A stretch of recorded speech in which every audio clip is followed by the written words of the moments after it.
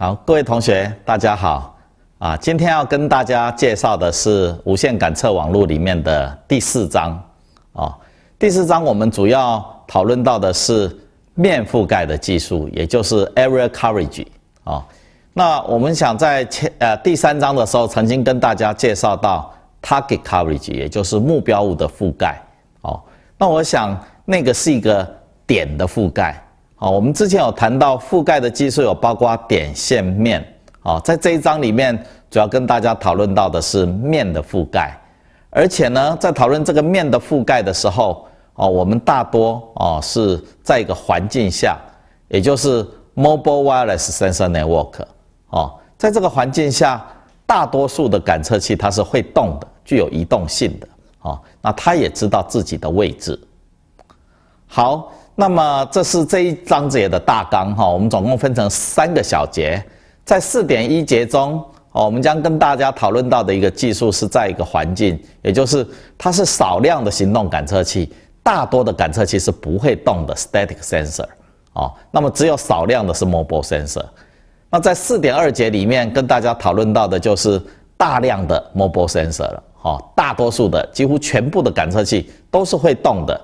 哦。那么在四点三节的地方，再继续跟大家讨论到哦，我靠移动性，有时候我并不是要维护到分分秒秒随时都把它覆盖哦，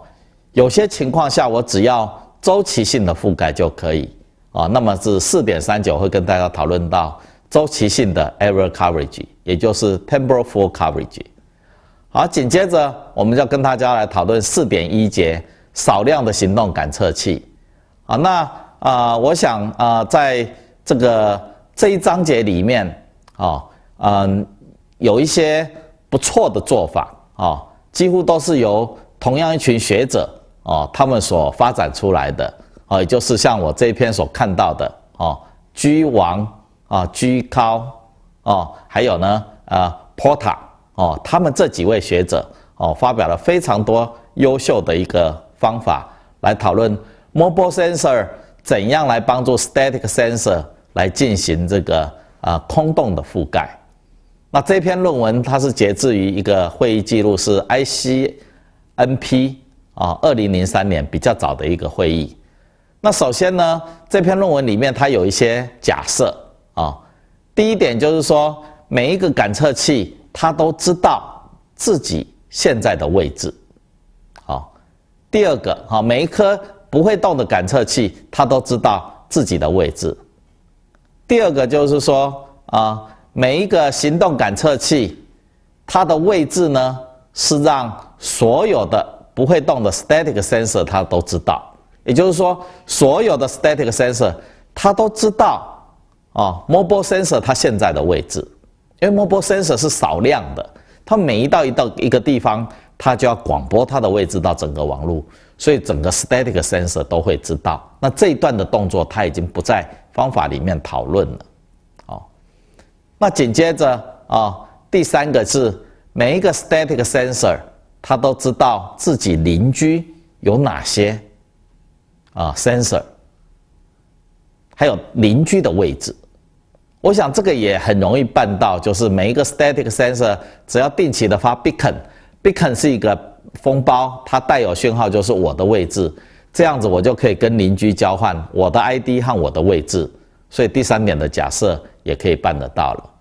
那这篇论文的目标是说，static sensor 它可以衡量我旁边的我附近的空洞有多大，然后因为 mobile sensor 是少量的，当我要叫 mobile sensor 过来的时候，mobile sensor 它会自己去判断。大一点的洞才值得我过去，太小的洞让我跑了这么远，我过去也不过是覆盖一个小洞，对我来讲杀鸡用牛刀哦，所以啊，mobile sensor 它会去处理掉哦，使得我能够有最大的贡献。那么这篇论文长的样子大概是这样子的情境，好，现在大家在画面上看到有一些不会动的 sensor 哦，我们把它画成一个小的圆。然后一个大的圆代表是它的感测范围，然后另外有一些车子在这上面是代表会动的感测器，但是它们是相对少的哦。我们希望会动的感测器稍微呢分工合作移动一下，就能够把这个所有的空洞呢就能覆盖住了。好，那么在做法上面，我首先要先跟大家介绍一个很重要的工具，叫做 Voronoi diagram 我认为 diagram 啊，它是一个呃判断到底是不是存在空洞，还有我隔壁的空洞存在多大的一个重要的依据啊。通常在传统里面呢，有许多篇方法啊，它都是用 Voronoi diagram 来决定，哎，我是不是呢？这个网络上已经啊全区覆盖了，哦，也就是大家都把它监控的很好了。那我首先在介绍 Voronoi diagram 之前呢，先跟大家介绍一个叫做 Voronoi cell 哦，也就是 Voronoi 的 cell。所谓的 cell 就是一个多边形，像大家画面上看到的这个蓝色的。这个啊五边形哦，它就是一个 Voronoi cell。那个五边形凸的五边形，它是由很多的节点所构成的哦，转角所构成的。那这些啊，像画面上里面的啊 V 一啦、V 二、V 三、V 四、V 五啦，啊这些我们都叫做 Voronoi vertex，啊 Voronoi vertex。也就是说，这些点它们所建构出来的一个 Voronoi cell。哦，五边形的这个顶点就对了。好，首先我们先看一下啊，首先我们先看一下，就是说这个 Voronoi 的边要怎么制造，点要怎么制造。好，我们先看一下啊，以这个 O 点来讲，假设我们现在 O 点它是一颗感测器，它要建立一个 very cell 自己的 cell 啊，它会跟每一个最近的邻居来去做比较。啊，以我们来看，比如说 O 和它的邻居 C，啊，在右边的这个 C 来比来来计算，因为 O 点它知道 C 点的位置，它也知道它自己的位置，哦，所以它可以算出 O 点到 C 点的距离。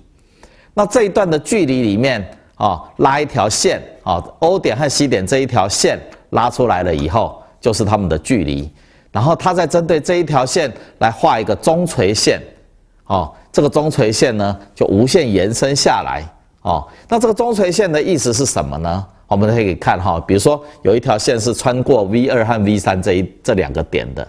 这一条线它具有的一个重要的意义，也就是说，在这一条线的左边是离 O 点比较近的，在这一条线的右边，这个空间上的任何一个点都是离 C 点比较近。好，因此我们可以知道哦，这个。通过 V 二和 V 三这一条线，在左边我们随便找一个点，其实我们都知道它是离 O 点比较近，因为这是中垂线。好，那同理，好，O 点和 C 点以 C 点的这个邻居呢，做完这个一个边以后，他再拿另外一个上面的邻居 V 点好了，我们来举例，他又拿 O 点和 V 点的连线再画一个中垂线，这代表什么意思呢？好，比如说这条中垂线它通过 V 一和 V 二这个节点。啊，代表这条中垂线靠下方一定是离我 O 点比较近，这条中垂线的上方这个空间，你随便找一个点，一定离 V 点比较近。好，所以 O 点它就跟每一个邻居都画一个中垂线，画一个中垂线，最后这些中垂线所形成的一个封闭的凸多边形，那就是一个 more cell，就是我们现在蓝色区块所看到的。那因为每一个中垂线。我们都可以有一个逻辑意义，就是比如说以 O 和 C 来讲，这个蓝色的区块一定是靠 O 点比较近，比 C 点还近；蓝色的区块一定是靠 O 点比较近，好，比 B 点还近，也是比 A 点还近，也是比 E 点还近。简单的讲，蓝色的区块就是离我比较近，没有任何一个邻居能够比这个蓝色的区块比我呢 O 呢离这个蓝色区块更近。好，那简单的讲就是，大家在分领域的时候，蓝色的区块就是我的负责区了。对于 O 点这个感测器来讲，如果我的覆盖范围没有办法照顾到蓝色的区块，那么其实其他的邻居，他们离我更远呢，他们根本也没有办法照顾到这个蓝色的区块，那就代表这个空间是有洞的，有空洞的产生。好，所以待会我们很简单的，我只要看一下，哎，我的这个。拿拿我这个到顶点的距离来去测一下，啊，看看就是说，我负责的区域最远到达哪里，哦，紧接着呢，把我的感测半径呢画一个圆出来看一下，我这个圆到底能不能覆盖住每一个 v 一、v 二、v 三、v 四、v 五这些 worry vertex 的点点呢？如果以这个例子来看，圆太小了，没有办法盖到每一个顶点。好，我们强调是每一个所有的顶点都要盖到，只要有任何一个顶点没盖到，那就代表这个顶点跟我这个圆呢中间会有一些蓝色的区块，我没办法覆盖。但是蓝色的区块就是我的负责区，我都没办法覆盖了，其他的邻居更难，因为他们离这个区块更远。好，所以这就代表的是 O 旁边呢有空洞了。好，以这个例子，如果 O 点他发现，哎，我的确没有办法盖到每一个点，这时候他就拿距离最远 O 点和 V 点距离最远的这个点，哦，拿来呢当做是一个价钱，啊，拿来这个呃讨价还价。好，在这个例子里面是 O 点和 V 四这个点距离最远，哦，可能呢距离了七十九公尺，哦，这么远，我没有办法盖到。好，所以我就拿这个七十九公尺来去代表我这个空洞的大小。那我准备跟其他的 static sensor 来去抢会动的感测器过来。哦，那我空洞越大，我就希望能够跟能够去啊 mobile sensor 能够服务我。好，所以我等一下就会送出七十九块，代表我的空洞大小是七十九这个等级，送给 mobile sensor 了。哦。当我算出来这个东西以后，我就会把我这个七十九的空洞，哦，一百二十五的空洞传给离我最近的 mobile sensor。好，各位同学还记得我们刚才有个一个假设，也就是所有的 static sensor 他们都知道 mobile sensor 的位置，所以在这一页里面，啊，有很多的 static sensor，他们都知道空间上面有两台 mobile sensor M 一和 M 二。而且谁离我比较近，我都知道，因为我知道他们两个的距离，我也知道我的位置，我也知道他们的位置，所以我可以算距离。这时候啊，每一个侦测到你附近有空洞的这个感测器，它就会把空洞的大小，以刚才我们看到的七十九哦，空洞的大小呢，传给离它最近的 mobile sensor。好，以画面上来讲，这里面有总共有啊二四六六个空洞。其中最大的空洞是啊，大到一百二十五的等级啊，次大的是七十九这个等级哦，所以它们因为分散在不同的 mobile sensor 管辖区内，所以呢，我就把这个一百二十五这个空洞呢，就会透过这个临近的感测器传到给 M 一这个行动车，希望它来治疗。好，因此 M 一收到了以后，它就算一算，哎，有两个洞传给我，一个空洞大小是一百二十五。一个只有二十六，那我当然去治疗这个一百二十五的。那 M 二呢？他也收到了四个要求，其中他觉得空洞七十九是他收到的比较大的要求，所以他也准备去治疗七十九。因此这两台行动车，他们就跑过去治疗这两个空洞了。好，因此呢，这篇论文的做法哈，整个大概是这样子的做法。那么啊，我们的同学呢啊，他看完这篇论文以后。其实他觉得这篇论文它有好处，一个就是说啊，整个是分散式的，全分散式啊，利用 worry cell 来去侦测自己旁边到底是不是有空洞，并且利用这个自己跟 worry vertex 的最长的距离来去衡量这个空洞的大小，然后传给这个 mobile sensor 啊，这是它的好处。那缺点在于说啊，我们可以看到哦，比如说。网络上，如果最大的空洞和第二大的空洞，它们都离啊第二台车子比较近，所以所有的这个七十九、六十九、六十八、一百二十五这三个空洞都会传给第二台车子，而小空洞会传给第一台车子，这会导致第一台车子呢，它准备去治疗二十八这个小空洞，而一百二十五和七十九这两个大空洞却只有呃一百二十五可以得到车子去治疗。好，所以这样子行动车它的呃贡献就不是太大了。好，那么等到车子跑到二十八这个位置的时候，六十八这个空洞的人又来跟他要车子。好，所以这个车子就会一直的疲于奔命，一直疲于奔命，一直换，一直换，一直换，换到七十九这边来。所以它就不是一次到位了，这是第一个缺点。那我们啊同学观察到的第二个缺点是说，比如说像一百二十五这个大空洞，它可能有两台的啊车子。两台的 static sensor 侦测到这个空洞。那这两个 static sensor 恰巧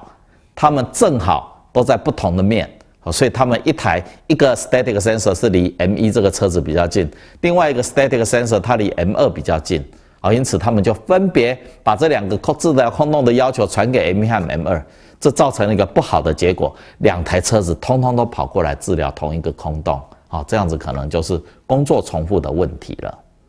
OK，所以啊，我们刚才看到的这一篇论文，我们给的结论就是说，啊，这是一篇不错的论文，啊，他们利用少量的行动车，啊，大量的不会动的感测器。彼此之间合作，啊，static sensor 负责侦测自己旁边的空洞，并且要求这个 mobile sensor，而 mobile sensor 再来考虑看看，有这么多的空洞，我到底要治疗哪一个空洞会比较好？哦，这个这篇论文大概啊到这边。